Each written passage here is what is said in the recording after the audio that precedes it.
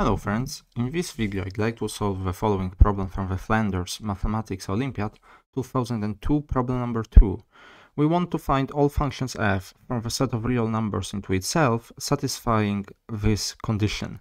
x times f of x over 2 minus f of 2 over x equals 1 for all real numbers x which are not equal 0. So it's a rather simple problem, here are my hints. First, you may wish to change x to 4 of x, 4 over x in our equation uh, to get a system of two equations from which you should be able to find f of x over 2, for example. And also think about, does our equation say anything about the value of f of 0? So give this problem a try. Right, so maybe let's call this equation asterisk. And from our, our equation asterisk, from our equation asterisk, we have the following, that f of 2 over x equals x f of x over 2 minus 1. And let's remember it. And now let's change let's change x to 4 over x in our condition asterisk. And let's see what happens now. Then we have the following. 4 over x, f of x over 2, but now it is 4 over x over 2, minus f of 2 over 4 over x equals 1, which is 4 over x, and now here we have 4 over x over 2 is the same as 2 over x, minus f of x over 2 equals 1. And now we know that f of 2 over x can be replaced by x times f of x over 2 minus 1.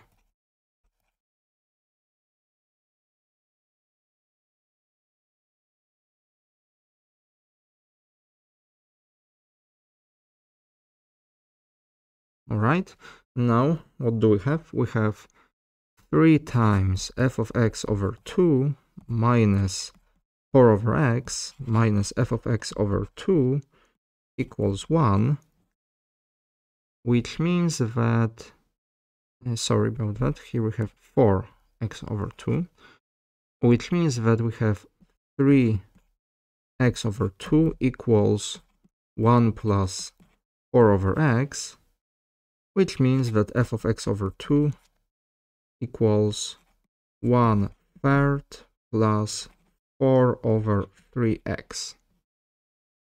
And now we have f of x over 2. Let's change let's change x to 2 times x in the line above. And we have the following then f of x equals 1 third plus 2 over 3 times x. Or x, of course, x not equal 0. And what about the value of 0? Well, notice that our equation does not say anything about the value of 0. Because it's not possible to produce f of 0 here or not zero arguments and it's also not not a we are not able to produce zero here. So f of zero can be really anything. Can be anything. Which means that the general form of our function is the following. f of x equals uh, 2 over 3 times x plus 1 third for x's which are not 0 and it's c for x which is 0 where c is any number whatsoever, whatever we wish. And that closes our problem. Also, you may wish to do verification, but verification is very simple.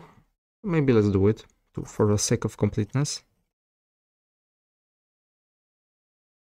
Verification x times f of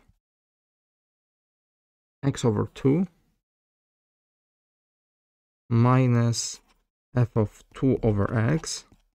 Well, notice that x is assumed to be not 0, so we have x 2 over 3 x over 2 plus 1 third minus 2 over 3 2 over x plus 1 third and now we have mm let's see 4x over 3x plus x over 3 minus x over 3 minus 1 third.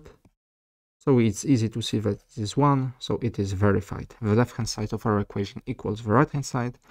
So the only solution, so the family of solutions is this, uh, the value of 0 is whatever. So yes, that closes our problem. Thank you very much for watching. I will see you next time. Goodbye.